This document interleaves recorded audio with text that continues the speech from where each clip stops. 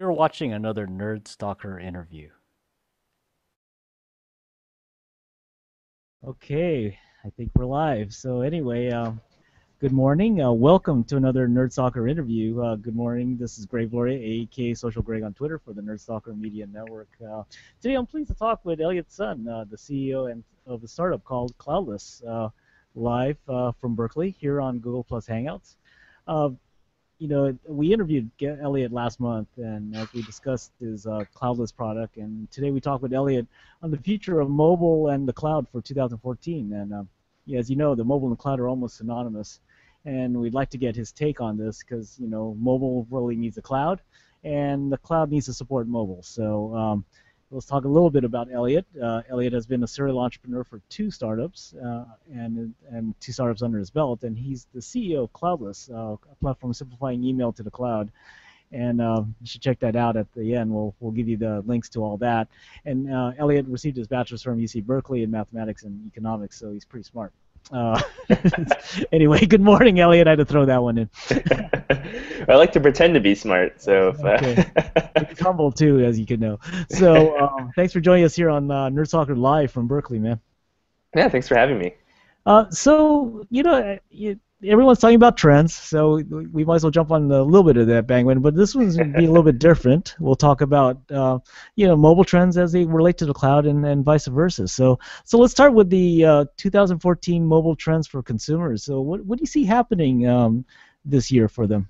Yeah, um, I think for I don't even know maybe the past five years, everyone's been talking about how. Uh, smartphone penetration was going to be huge and smartphone growth is going to be huge the next year. Um, I'm going to go out on a limb and say this is the year where it actually starts tapering off. mm. And so the reason why I say that is um, I think there's several signals in the market. Uh, I mean, Apple was probably one of the biggest holdouts in producing an affordable consumer phone. Uh, and they recently just released uh, a whole set of mm. iPhone 5Cs, I believe, um, which are yes. which are meant for the mass market, right? So I think um, Android did a really good job getting uh, penetration there, and now with Apple in the game, um, I think we're going to start to see some saturation. Mm-hmm. Uh, so I think one of the interesting things that's going to happen um, is, is, perhaps the peripherals around the devices are going to help drive engagement to them. Because I mean, if you look at smartphones right now, a lot of the form factors are um, becoming pretty similar, right? You expect the same specifications, you want like the same big screens, um, so what's really going to differentiate? And, and you already see some companies like Samsung uh, is a great one um, that are starting to produce some peripherals that work alongside your um, mm. your mobile devices, right? Like yeah. the, the Samsung yeah. Galaxy 4 watch. Um, I don't know if wearables are going to be a really big thing in 2014. Um, mm. I think amongst like us nerds, they're going to be huge. Um, so in the Bay Area, definitely you're going to see like the guys with the Google glasses, the smartwatches. Um, but I think for the bigger markets, uh, wearables are still too much of a culture shock. I think where it'll take some time for them to be adopted um, more widely. Well, you know, it's interesting. I, I thought I, when you just said kind of struck struck a bell in my mind about, you know, for the longest time after actually after smartphones came on board, I've seen a trend of people stop wearing watches right? Yeah. right? Because guess what? I can just see my phone and I get the time, right? Mm-hmm. And, mm-hmm. and, now they're trying to reintroduce the watch as another way of kind of like, like you said, connecting to your smartphone, which I, I mm-hmm. think I agree with you. I think connectivity is very important um, for a lot of people, but I, I think it's years off for the for the masses. I mean, here mm-hmm. in uh, SF New Tech, I think yeah, you'll see everyone with pebbles and, and whatever else running around the Samsungs, yeah. running around, yeah. you know. So so anyway, no, that was good. I I, I appreciate it. I think yeah, uh, yeah if you want to continue it, I, that's just something I just thought about when you were talking about. Oh yeah, I mean I. I'm I'm definitely guilty of the uh, the wearables craze. Uh, I mean that stuff is just so interesting, right? But I, I think I, I own a Pebble myself, and I think in practice, um, there are a lot of really cool things that I think they could they could do with the platform, um, but it's it's still a little rough around the edges. There's uh, there's a few things that are desired that it doesn't currently have, uh, and like you mentioned, when smartphones are they're so easy to access, right? So it's a mini computer in your pocket, and it's been that way for years now. Um, and you can just pull it out, check the time. It really replaces a lot of different things. Right. Um, one of one of the uh, so I guess connecting mobile to to cloud now. I think one of the interesting things that's going to happen uh, is that you you really need uh, the cloud to work alongside your mobile device, right? Because mm-hmm. if you think about flipping off the the LTE on your phone, like what can you really do? Mm. Um, and, and, there's a lot of apps that are really hindered by that. Um, I think smartphones have come a long way where the processing power and the storage have increased year over year, and it's going to continue, I'm pretty sure.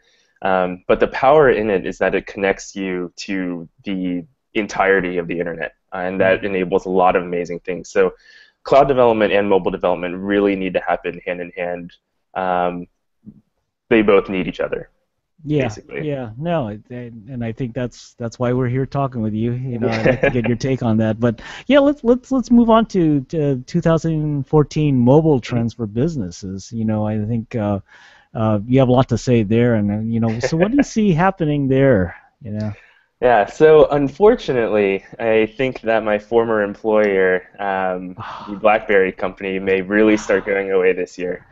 Uh, it it pains me a little to say that, but I mean the past year has been really brutal on the company, mm. uh, and with a year full of bad news, you have to you have to think that some of their larger clients are really going to start thinking about hedging their bets with BlackBerry and, and looking at other solutions. Mm. Um, I think the the most interesting question here is who is really going to fill this enterprise void uh, that, that's going to happen in mobile. Is, is it going to be Apple? Is it going to be Android? Um, I know that a lot of companies, especially here in the Bay Area, what they've done is they've, they've started provisioning both phones for, for the workplace. And I think that's really a result of bringing your own device to work. Uh, consumers mm. are bringing in their iPhones and their Android phones, and they really want to use it in the workplace. Um, so the, the IT department ends up provisioning both phones uh, for use in the company. But there's going to be, I mean, I've seen that a lot with uh, a lot of the more popular Silicon Valley tech companies. But I mean, if, if you look at BlackBerry's more traditional customers, like the, the finance organizations, the banks, et cetera, mm. the ones that are a little bit more hesitant about the cloud, more hesitant about consumer technologies, um, one of these big players is going to have to step in and play the mm. role of being that enterprise mobile um, solution that these enterprises are going to turn to as BlackBerry continues its uh, continues diminishing. Now, some of these concerns, obviously, on the banking side, really come from security, right? Mm-hmm. Yeah, uh, security is going to be a, a, big issue, I think, across consumers and business. Um, mm. That's going to be a big topic in, in mobile and cloud, I think, for this year. Yeah, I think that's. I, I know I worked for an enterprise that you know, the, as soon as you signed up, you get a BlackBerry because it was just you know, there was just a lot of things that were just integrated into enterprise through BlackBerry. You know, the security, mm-hmm. as we talked about earlier, there was a lot of things that just the IT professionals got really comfortable with with BlackBerry. But, you know, with with with that that ship uh, kind of drawing water now, it's really difficult and so, so you really see Apple, Apple probably stepping up and trying to fill uh, that void a little bit, huh? It, could be Apple. It could be. Uh, there's so many different players that have the opportunity to step mm. into it. Um, mm. I, I, think Apple is definitely well positioned. You can see a lot of the things they're starting to experiment with in their new phones, like the the fingerprint security. Although I, I know there's a ah, huge right. debate around that, but uh, I, I, think they're they're yeah. they're thinking along the right lines, which mm. will lead them to something good. Um, yeah. But but one thing you said about BlackBerry that's definitely true is that you're right. IT departments are very comfortable with the the software that BlackBerry provides to help them with security and control over the company's data. Um, one of the interesting things that I think could actually happen is that BlackBerry splits off into their enterprise software solutions side and then their mobile device side. Uh, and, and, I, and I think some of these things may actually start happening. Um, I've heard that their new CEO is refocusing on kind of mass market phones. They, they have a mm. deal now with Foxconn to produce um, cheaper phones for, for larger markets. Um, it's possible that they'll spin off their their um, their hardware side mm. uh, and then keep the enterprise side, which is their their big cash generator, anyways. Um, so you could see maybe one of these larger players actually purchasing the software side uh, mm. to, to build to connect their hardware over to it um, which I think could be a pretty pretty powerful partnership if that wow. would happen. No, that that's true. So now we're kind of we're, we're we're linking into um, uh, business a little bit, and uh, you know I think uh, no, I think it's really interesting what we're talking about here because I think that that that the the business side for mobile is really you know important, as he said, with the BYOD, the bring your own device, and mm-hmm. how I, IT groups are dealing with that. And and and you know every IT professional I talk to, you know their department isn't getting bigger because of all these devices coming online. In fact, mm-hmm. they're getting smaller. Yeah. You're telling me, right?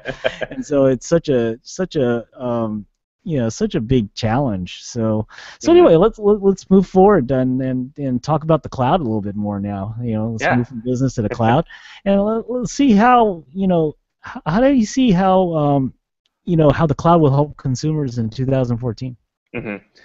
Um, so I think there there's a lot that's going to happen here, uh, and I think a lot of it will center around uh, increasingly heavy mobile usage.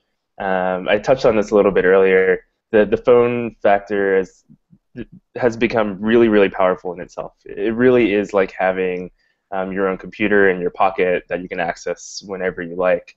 Um, but processing power and storage aren't aren't everything, right? There's a there's a lot of stuff that needs to happen. I mean, the, the real power behind mobile devices is is in its name, right? It's mobile. You can take the, the phone anywhere. Um, you get a lot of context around location. You get a lot of context around um, people who are around you, the conversations that are happening, and, and to have that, you need to have the cloud. Mm. Um, I think one of the biggest things that that could happen, um, one of the biggest trends that's going to happen this year is what I think big data is actually going to become useful. Um, there's so much data that's been collected on users, um, like the stuff you tweet, where you tweet from. Um, all this type of information is become is going to become really useful this year as the cloud becomes more powerful and people are actually starting to figure out what are the interesting things that people can do with this information uh, to provide usefulness to the end user. Um, so that kind of a computation will all be done in the cloud. Right? Companies are going to be doing this on their side and then feeding the result back into the mobile phone that the that the consumer is going to use.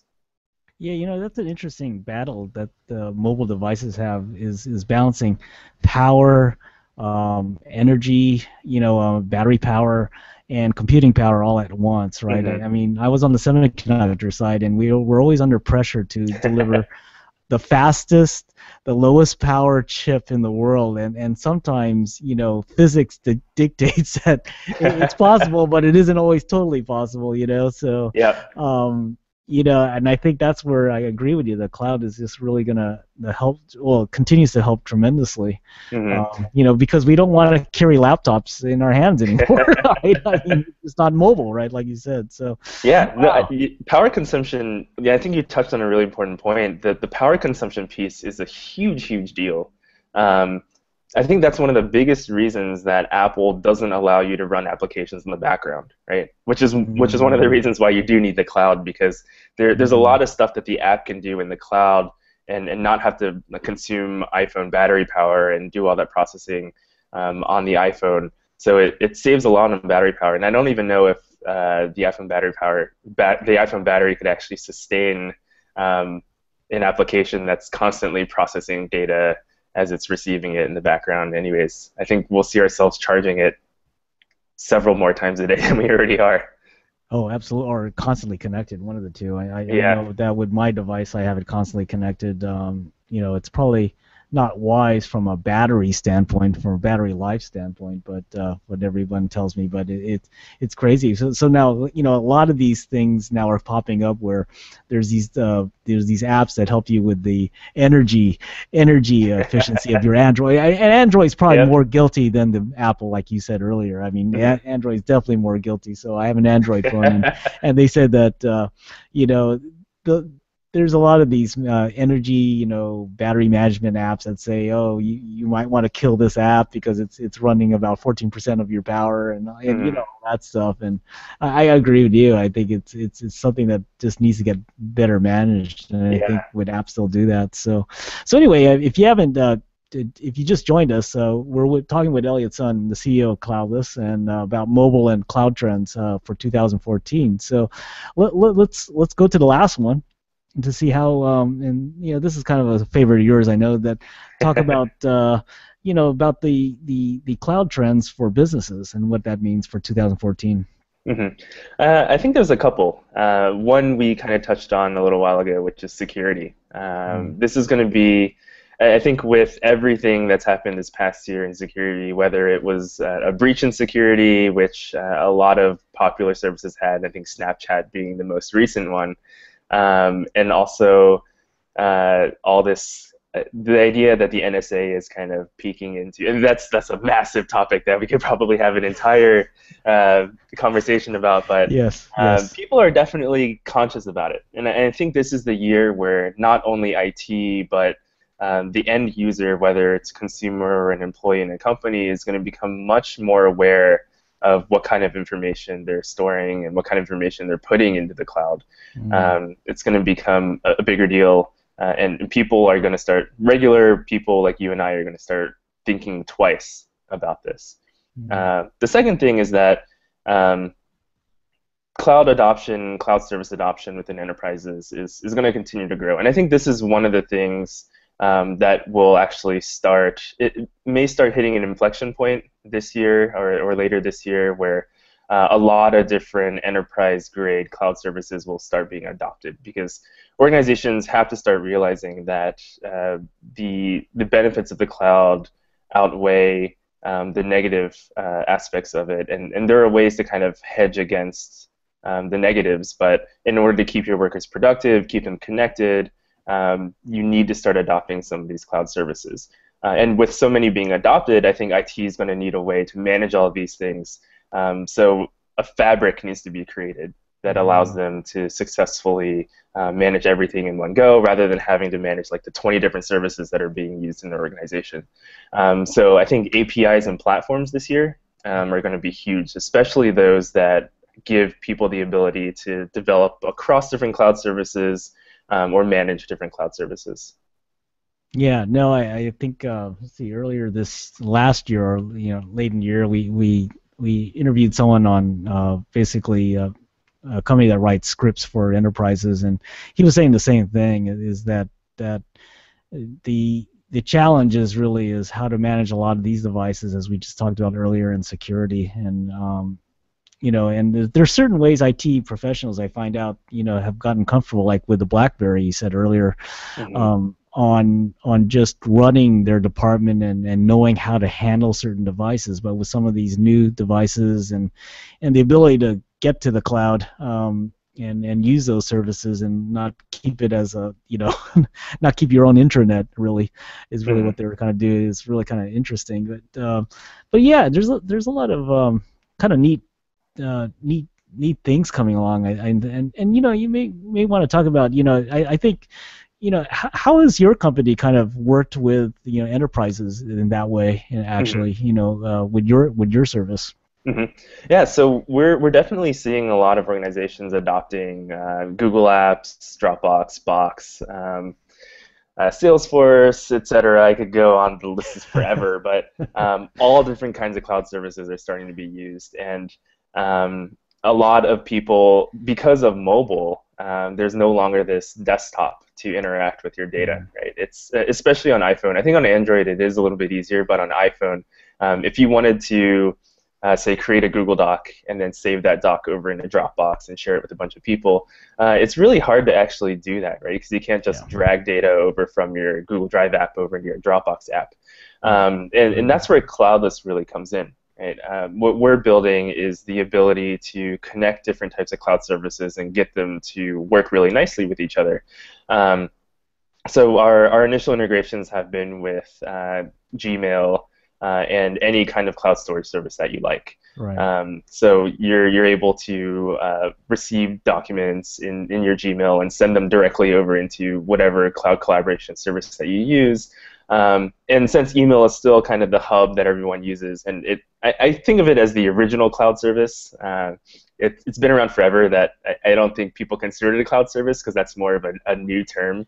Um, yeah, right, right, right. Uh, so, so we connect the original cloud service with the, the newer, trendy cloud storage services. So, um, allowing you to be more productive uh, mm. and use these new tools from within the inbox, which is what you're used to using. Right. Right. No, uh, that's great. So interesting trends. I mean, uh, you, you mentioned, um, you know, mobile for consumers might might taper off in sort of smartphones, which is really interesting, actually. Um, mm-hmm. You know, you talked about, um, you know, mobile for business and uh, bring your own device stuff that they have to deal with on the business side, and and how to how to use the cloud in that way, and then you know, in terms of also the the cloud for consumers, just getting the ability to use those things, uh, your mobile devices with with the cloud, and, and and use less computing power on your devices is really interesting. Mm-hmm. And you know, lastly, and just getting enterprises to adopt it more. Um, is really kind of cool. So yeah. Anyway, thank you. I appreciate a lot of your insights here, and it's really kind of cool to talk with you. And we'll try to do this more, huh? Yeah. So, yeah thanks for having me. yeah. No. a lot of fun. Anyway, yeah, let's let's close off the interview and thanks for your time again and giving the Nerd Stalker audience your insights on 2014 mobile cloud trends. Um, so how can people get a hold of you and uh, get a hold of Kloudless? Yeah, uh, so feel free to email me uh, anytime. My email is Eliot E L I O T at kloudless with a K uh, dot com. Uh, you could also visit kloudless.com also with a K uh, to try out Kloudless for free. Yeah, great, great. Anyway, so anyway, that was uh, Eliot Sun of Kloudless. Uh, check out Kloudless, as he said, at kloudless.com. And to see more about Eliot, we ran a great interview with him. You can just search on our website, nerdstalker.com, for that, and uh, where he talks about the Kloudless products in a little more detail. So anyway, thanks for joining us, everyone. Uh, this is Greg Laurie, aka Social Greg, on Twitter for the Nerdstalker Media Network, where we believe in tech, startups, design, and you. Thanks for joining us, everyone, and be careful out there. Thanks, Eliot. Appreciate it. Thanks, Greg. Okay.